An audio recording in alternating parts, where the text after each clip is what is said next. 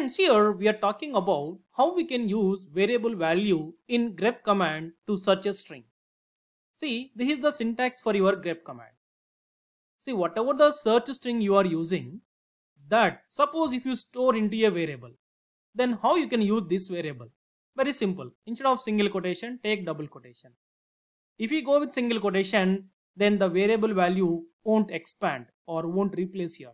Now let me explain this on command line. See suppose I am searching for a string root under etc password file.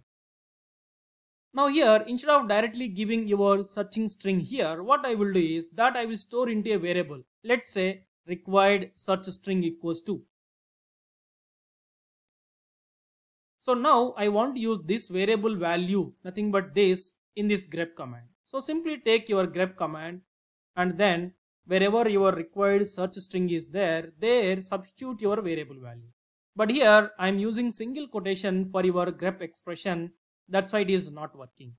So be clear whenever if you want to use variable value in this expression, then you have to use double quotation. That's it. Now see the result. Okay, thank you.